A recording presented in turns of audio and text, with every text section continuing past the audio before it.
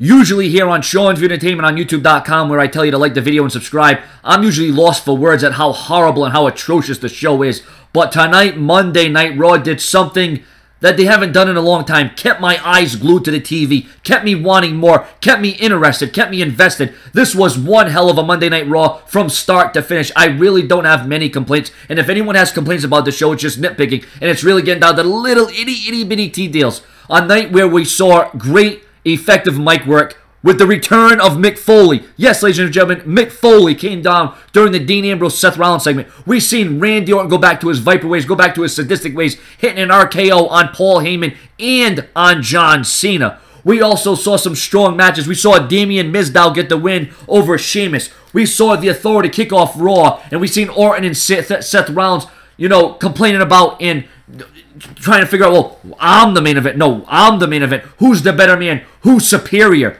Uh, you know, the, the wedge is being driven. You can see where there's uh, it's getting volatile between Orton and Rollins. Uh, we've seen AJ Lee versus Alicia Fox. We would learn. Uh, apparently, it was Seth Rollins that came up with the idea that at Hell in a Cell, Randy Orton versus John Cena will now be a number one contenders match. The the winner facing WWE World Champion Brock Lesnar in the future. Now, is that just to keep the authority in check? Is that so things don't get too volatile in the authority? On a night where we saw, like I said, a strong promo work between Randy Orton and John Cena, we would see Paul Heyman come down and interrupt. We would see Brie Bella versus Summer Rae. Uh, Raw definitely had its moments tonight. I mean, like I said, this Monday Night Raw, from from the beginning of the show to the main event, we've seen hell over Monday Night Raw all night long. We've seen the hellish structure. We've seen it come down. We see it raised. Hell in the cell, ladies and gentlemen. If WWE would have done this every single week, I would have been more invested. I would have been more emotional into Hell in the Cell.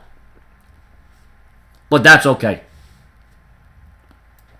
This is why they say anything can happen in WWE. Just when you think all hope's lost, just when you think all the cards are down, just when you think the WWE can't bounce back, they come back with a strong show like this. The creative team must have been on their high horse today. The creative team must have been drinking that lot of caffeine. Vince McMahon and Triple H must have really had their finger on that pulse. I don't think that this show was written uh, right before Raw. I don't have a feeling that, that this show was written as Raw was going on. It felt like there was order. It felt like that there was um, flow to the show. It felt like everything fit into place. Like I said, uh, uh, Sean, what was your favorite part of Raw? What did you like the best? Cesaro versus Ziggler, another great match, another standout match. I mean, I, I can't tell you how impressed I was with this show. I, am almost lost for words. That's why I can't get my words straight. That's why I can't get out to you. I, I can't believe what I saw on Raw. I can't believe what the WWE pulled out, the product they put out in front of us. Why can't they do this on a consistent basis? Why can't they do this from week to week, from bell to bell, from segment to segment?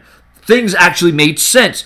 This actually makes me want to watch Hell in the Cell. Yes, WWE did something they haven't done in a long time for me to watch a pay per view. They made me want to watch a pay per view. They made me want to watch the WWE Network. They made me want to save and, and, and, still be subscribed to the WWE Network. You had guys like Cena, you had Orton, you had Rollins, you had Ambrose, you had all the ingredients for a combustible unit. And this Raw hit on all cylinders. Monday Night Raw never lost steam, it never lost momentum. Like I said, I am impressed Great job by the WWE. I'm sick and tired of coming on here and hating and criticizing and manipulating. I'm sick and tired of talking bad about the WWE. This is the kind of shows we need. This is the kind of shows we want. This is why WWE is in the reality era, the PG era, but it shows that it can still be good, it can still be smart, and it can still be um, what it should be, and that's the WWE. Subscribe.